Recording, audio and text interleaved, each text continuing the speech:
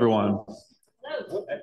I am uh, I am actually really excited to be here. I came to this meetup quite a few times in the past and been an audience member, so super excited to uh, be speaking to all of you about some technology we enabled in the past. We have a kind of uh, funny story though. I um, you know we built this technology two to four years ago. Uh, our founder was like really protective of it. Then we finally patented it, and we started talking about this and a few other ones maybe about like six months to a year ago.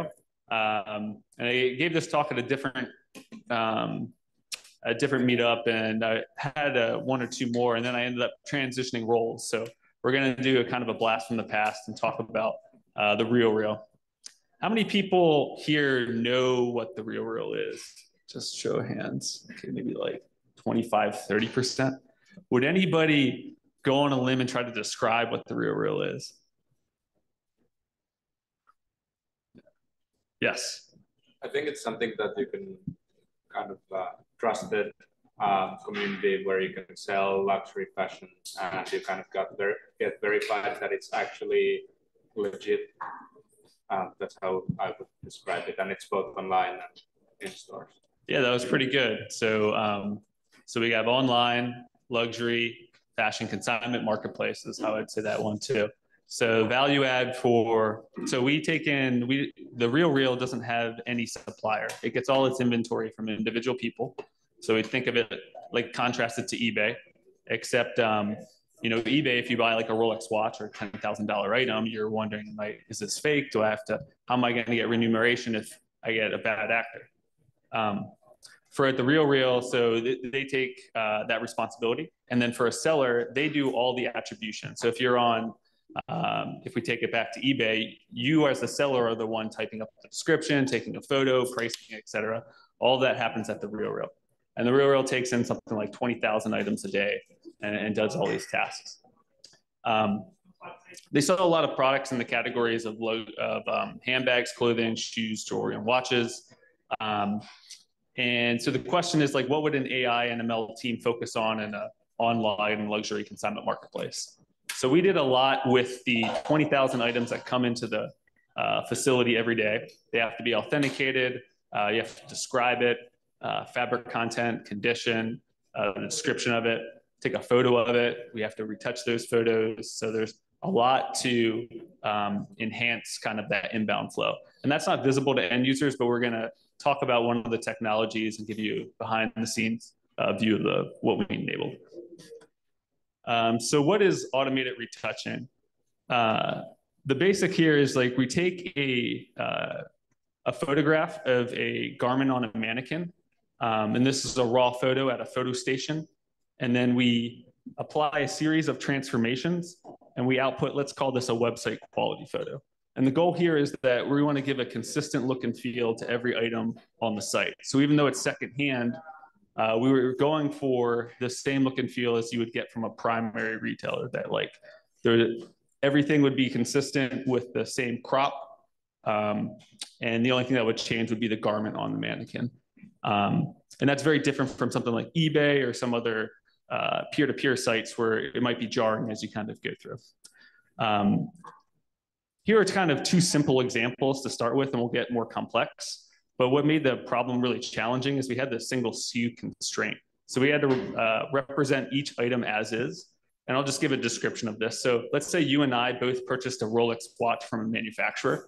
I wore mine every day for 10 years. You never wore yours. We would expect them to have different price points because one has more wear than the other, different condition description. And well, of course, we have to represent the uh, photo of the item as is. So each item gets its own photo. It gets cataloged as a unique item. Uh, the second constraint is we have to meet uh, very high acceptance criteria of merchandisers.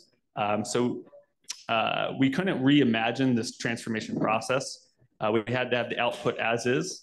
And even for a human to do this task, uh, they would fail like uh, maybe 2% of the time. So it was a very high standard. And you'll see as we show how we would solve it, that each individual component has to have super high accuracy. Okay, so how would we start by solving this problem? First question you might ask is like, hey, do we even have enough data to solve this with AI and ML? The answer is yes. We had a lot of uh, products that come in. They would get set to a, um, input uh, S3 bucket, and then we transformations would apply, and then they'd get sent to an output. So we had a ton of data, uh, 20,000 products a day. Each product had 36 images, so 100,000 products a day for many years. Uh, second question is, do we have to, you know, label these individual tasks with targets? Um, and the answer is no. We were able to generate these labels automatically. Uh, we were able to do so using this process, if you're familiar with image registration. And since we knew the output and the input images were the same item, we could find matching key points in both images. We can take the inliers of those key points and estimate a homography matrix. And what that does is it can take one image and put it in a transform perspective of the other image. And that can be things like uh, increasing, reducing size. It can be rotation. It can be a lot of linear kind of transformations that you can apply. Uh, so once in this transform perspective, what we can do is some interesting things just using classical computer vision approaches, where we can say like, okay, let's take the ratio of the height of the output image to the input image. And here it'll be like 60%. And we can bucket that to something like, okay, this input image, when it comes in at prediction time, we have a label that it needs to be cropped here at the mid length. And we see that we did this kind of thing with each of our uh, individual components that we've cascaded together uh, to build kind of this end-to-end solution. So here's what our overall pipeline looks like uh, for a high-level solution um, to do the retouching enablement. So it starts with this, uh, this input image over here on the left, on the right, have that same tricky challenge. Uh, just take notice to this, of like how small this seam is, because I'm going to come back to this a few times in the overall image. Uh, but the first step we do is we um, we remove the background and the base here. So we're doing some semantic segmentation approaches.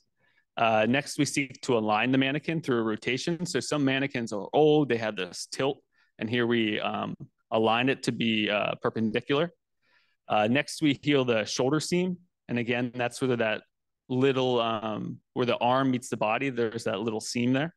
Uh, and we'll break that down and go into depth on that. Uh, next, we make the crop of like where to crop the item. We match the aspect ratio. Operationally, we'll store um, this in an S3 bucket and produce an event uh, so engineering knows to pick it up and can process the inbound flow. Um, so let's do a deep dive into the, the toughest area of this, which is, of course, these shoulder seams.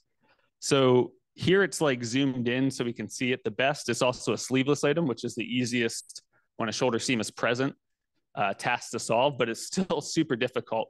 Uh, one, because the we have to operate on this very razor thin margin where we don't make a mistake. And how can we make mistakes? Well, again, we have the single SKU constraint. So any alteration we make to a product is a failure. So if we're trying to blend the seam and we accidentally blend into the garment, it's a it's an easy way to make a failure. Uh, the second way is like if we go into the background, it's perfectly white, and we make the background not perfectly white, obviously a failure. And the third way, if you look at this, this has a lot of lighting uh, directly on the seam. So if we make anything that looks unnatural in that lighting, it's also a failure. So we really have to heal heal this seam with some surgical precision. So we broke this down into a number of components. Um, so the first things first is like, does this item contain a seam? And we call this joint detection. So in a lot of items like a coat or a long sleeve item, you're not gonna have a seam at all. So we don't wanna do any further steps. Um, so let's see, we got a seam. So the next step, the next step is we generate a new image without a joint. So, you know, why the heck would we do this? Well, we really struggled here. We, we, we spent a lot of months trying to solve this problem.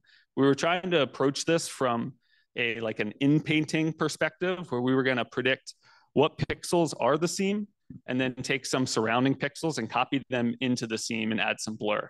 And that was like a general approach. And that kind of worked in a way. It was like 60% accuracy. We added some new flavors and got that up to like 70%, but we were looking to try to be above like 95% for our AC.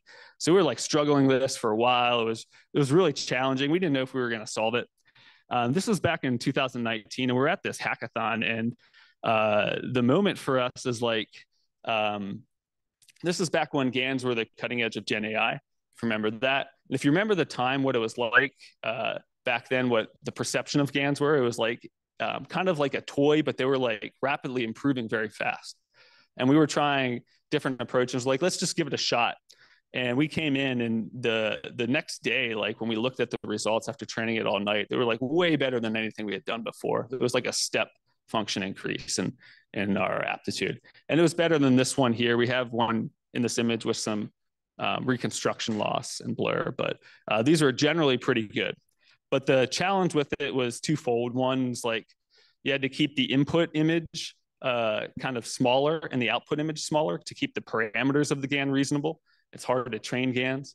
And then if you know about this, it, some GANs have this um, feature where they uh, add some, like the color gets slightly distorted on the output from the input. And you can kind of mitigate this with like a identity constraint in the loss function, but then you're kind of changing like the reconstruction error. It could go up when you do these things. So it's kind of tricky. So we were already so far into the process, we didn't want to try to perfect it. So we're like, I think we can use some of the other features that we've enabled from the prior version that didn't work, like the segmentation mask, and post process it. So we decided to post process it. So we had this uh, product segmentation mask from before. So when we blend it, we can make sure that we don't alter the garment at all in the blending process. That's that middle segmentation mask.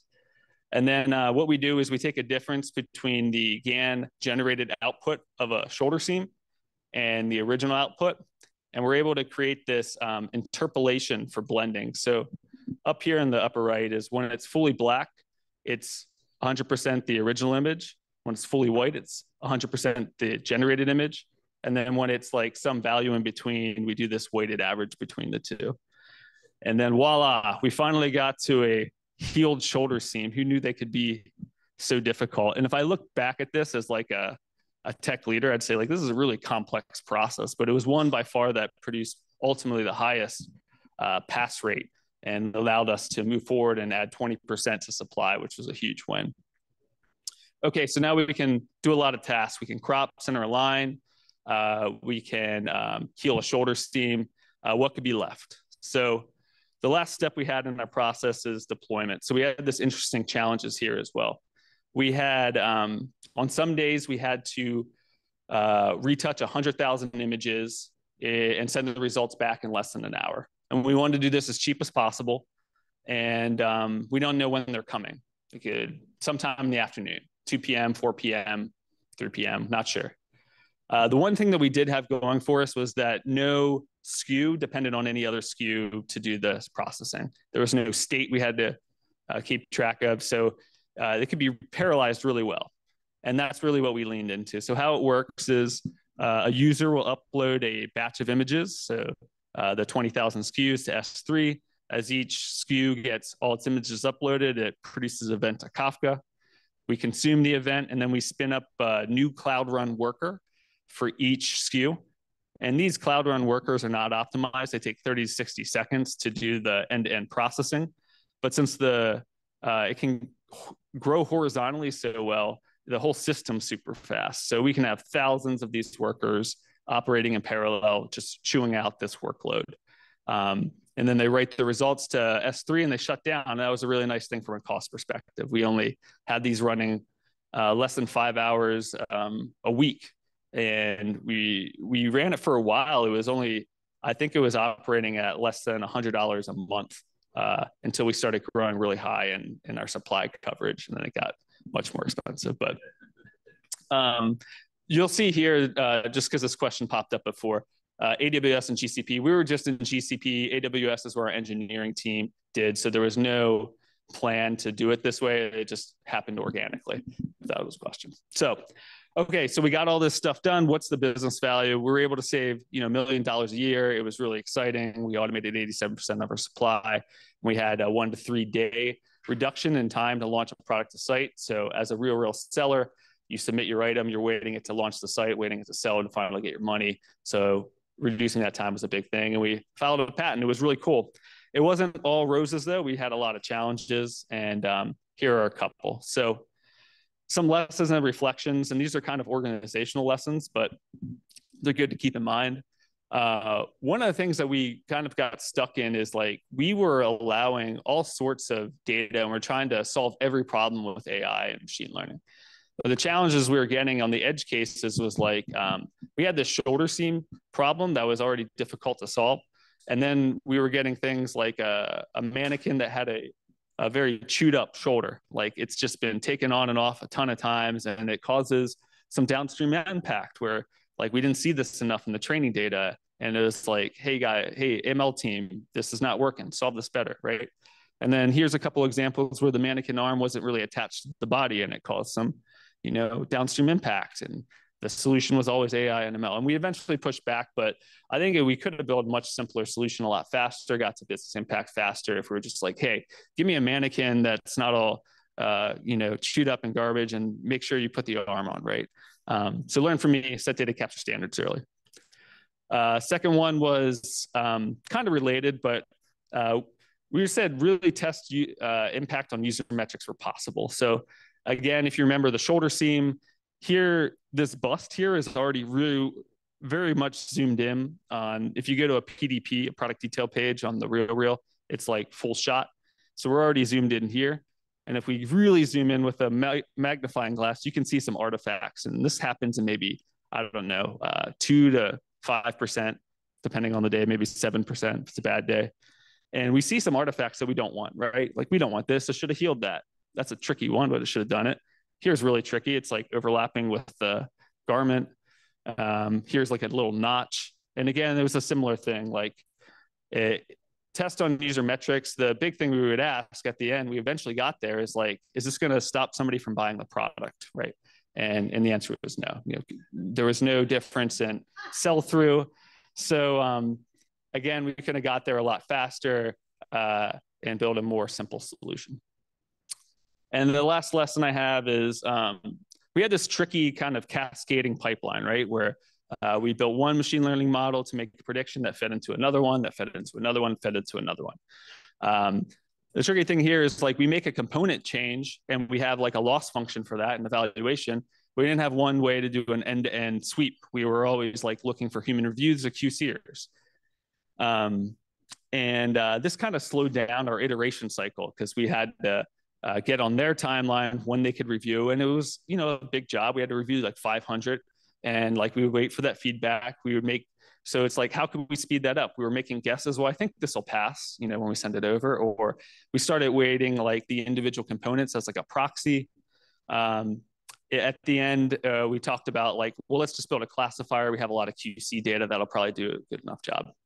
We didn't solve this fully but just something to always keep in mind you know the faster we can iterate develop new solutions the faster we can make impact and that was kind of like our journey and our story on this project. It, it had a huge impact. We had like um, a lot of uh, successes and learnings along the way.